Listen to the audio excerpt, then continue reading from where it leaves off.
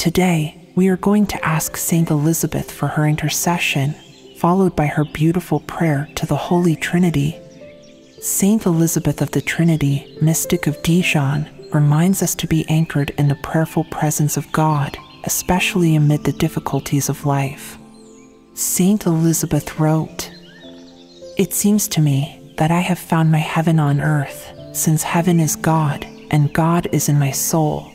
The day I understood that, everything became clear to me. I wish to tell this secret to those whom I love, so that they, through everything, may also cling to God. Through everything. In the name of the Father, and of the Son, and of the Holy Spirit. Amen.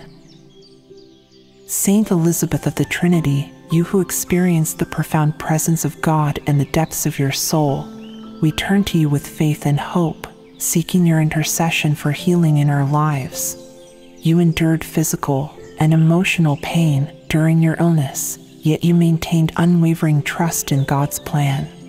We ask for your intercession in our times of sickness and suffering. Please pray for our physical healing and, just as importantly, for the healing of our hearts, minds, and spirits. Saint Elizabeth, you lived a life of profound gratitude and joy, even amidst adversity. May we too find the strength to give thanks in all circumstances and experience the peace that comes from an unwavering trust in God's love. We entrust our intentions for healing to your loving intercession. We ask for physical healing, emotional healing, and spiritual healing in accordance with God's will. Most of all, we pray for the grace to align our will with God's will, recognizing that His plan for us is always perfect, even if it leads us through the trials of suffering. Saint Elizabeth of the Trinity, you who are a beacon of faith, hope, and love, intercede for us before the throne of God.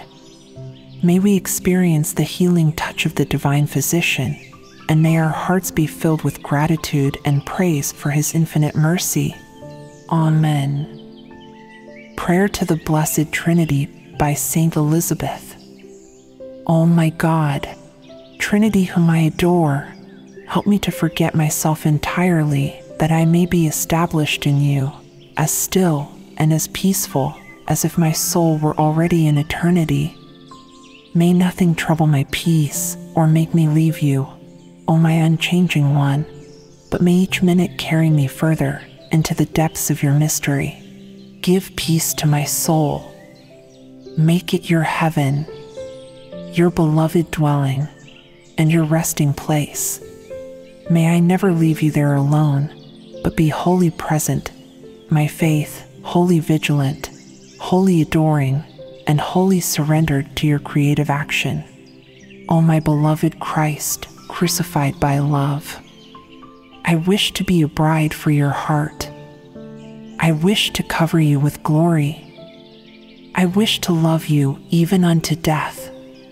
But I feel my weakness and I ask you to clothe me with yourself, to identify my soul with all the movements of your soul, to overwhelm me, to possess me, to substitute yourself for me, that my life may be but a radiance of your life.